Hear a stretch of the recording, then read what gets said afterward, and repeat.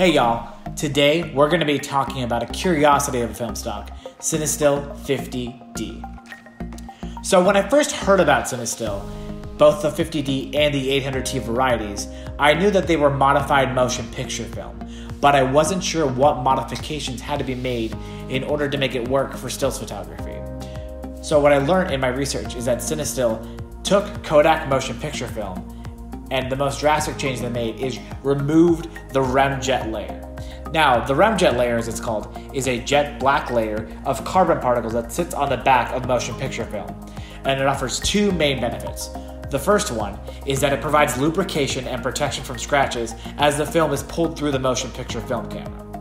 The second main benefit, and the one that will be the most obvious to Cinestill users, is the anti-halation layer. Now, the fact that both varieties of Cinestill don't have this anti-halation layer in effect often make them more popular. It's a look that's often sought by shooters of Cinestill, and other people try to cancel it out with filters. I know the Tiffen Pro Mist filters that Grainy Day uses actually do provide a certain anti-halation effect for the film, so we can get more typical looking images.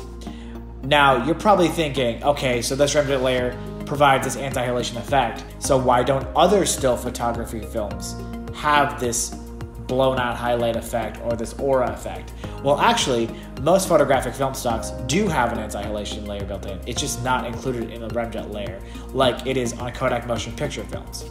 Now, the other benefit from removing the remjet layer is that it can be processed through typical C41 chemistry and the machines that a lot of photo labs use for that process.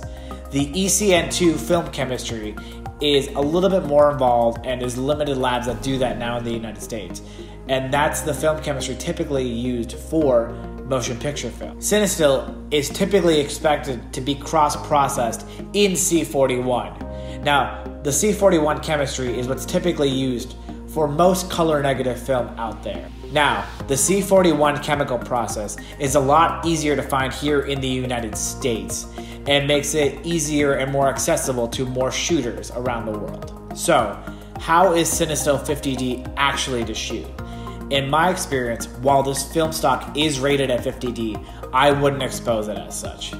I shot one of my first rolls at 50 ISO to see how it did at a more typical exposure on my f3, and I found the film to have this heavy green tint that goes away as you expose the film more.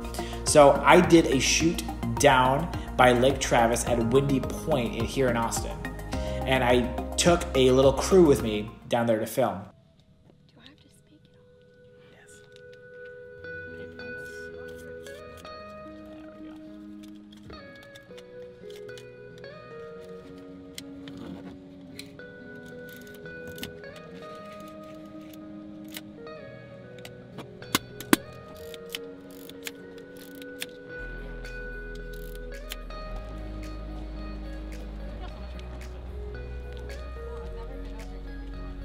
Hey guys, it's Lilio, and today we're going to be shooting some Cinestill 50D with our lovely model Chloe. Hi. So, uh, what are you excited about for this film? Um, I've never interacted with medium format to begin with, um, but I'm also excited to see how this turns out, given that it's the film that's used in all Hollywood's videos. And um, yeah, I'm really looking forward to seeing the effects that it makes and how it varies from different other film styles. Sweet. Okay, let's go shooting. I, I gotta wind it one more time. Sorry, sorry, sorry. Ready? Three. Motion was a little bit more.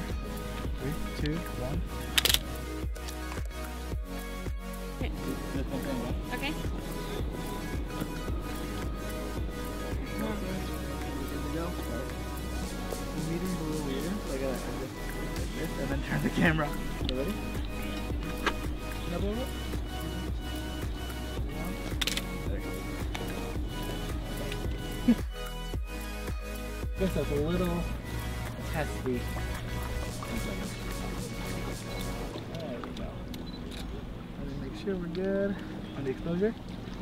Okay, uh, Chloe, is there a way you can angle your right shoulder a little bit more towards me? There you go. Three.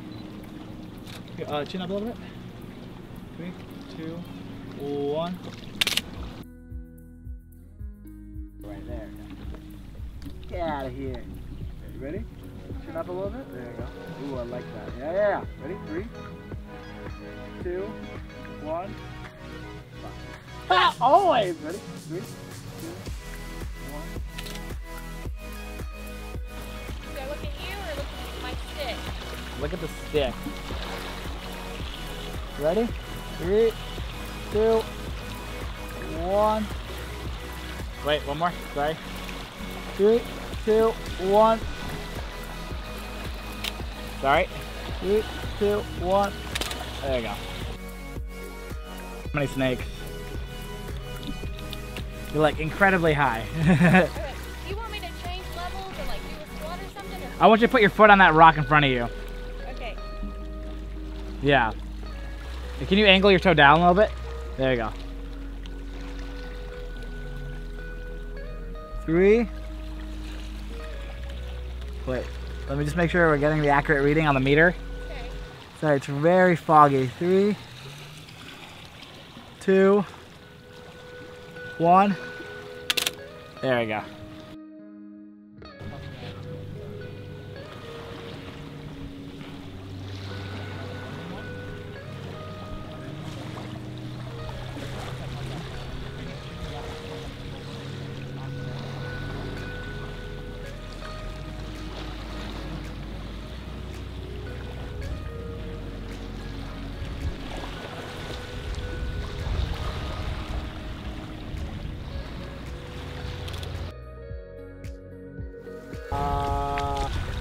You bring your hand up so you, because right now you're just like leaning really far over.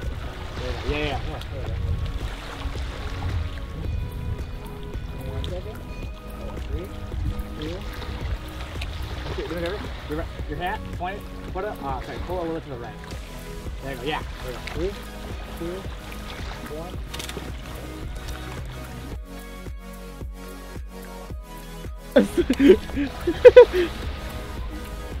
Ooh. Give me a second. Uh, lower your right shoulder. There you go. Yes. Give me a second. Chin up a little bit. Three. Hold it for a second. Three, two, one. Okay, that was the last shot of this roll. Okay. Woo!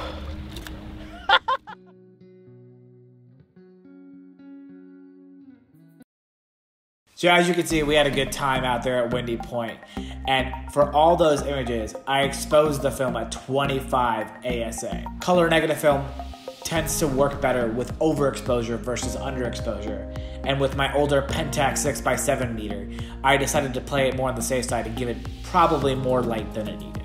Now, its signature green tint will go away as you expose the film more, but because of this, in the dark areas, in the shadows especially, you'll see this green tint creep in. So, while I was doing the sunset shoot with my friend Sarah, you can see that in the darker parts of the image, there is that signature green yellowish glow. And it's just something to take note of. You're not going to be able to get the exact same colors as motion picture cameras do with their film stocks because you're processing it through a different chemistry. And it's something you do have to keep in mind. Now, Cinestill is a very, very sharp, high resolving film, and I have no complaints about that. If you have enough light, I would definitely recommend it for a different look to your images. And I would recommend overexposing it by 0.7 to a full stop to make sure you're getting the best result, especially if you're using an older film camera. I shot it in both my f3, my f6, and my Pentax 6x7 with good results in all of them. Now, shooting in the daytime, you will find that the anti halation layer removal does have some effect, especially when backlighting. Around the edges of my friend's hat, you can see this glow around the brim as the light is coming over her. There are going to be some artifacts from that remjet layer being removed, and you should be aware of them, especially with which direction you're pointing the light and where your subject is in relation to your light source. I think that Cinestill 50D definitely gives a unique look, and it's something I want to use more in the future to capture more of a classic film movie aesthetic. There are now alternatives out there for motion picture film that you can run through a stills camera, and some of those do offer the traditional E ECN2 film chemistry process. Those will give you a truer to motion picture film look. But keep in mind that Cinestill 50D is a lot easier to find than those films and a lot more convenient to get processed. One thing to talk about is the price. Both 50D and 800T are relatively expensive for what they are. And I suspect this has come down to the additional work needed to convert the old motion picture film into stills film by the removal of this remjet layer and then repackaging it. I'm happy to pay it, but only for certain special shoots.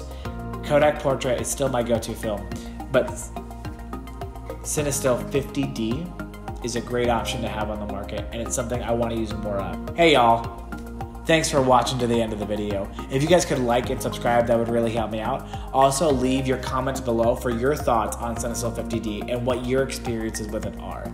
I have an upcoming video on Cinestill 800T that I'm making right now, and hopefully that'll be out soon too. A little faster than my usual production schedule. If you have any questions or any requests for other film stocks, leave them again in the comment below, and I'll get back to y'all. Have a great day.